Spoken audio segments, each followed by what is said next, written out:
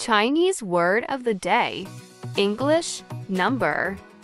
数字，数字，Let's use it in a phrase. English. This is my number. 这是我的号码。这是我的号码。Thank you for liking and subscribing. See you tomorrow for another word of the day.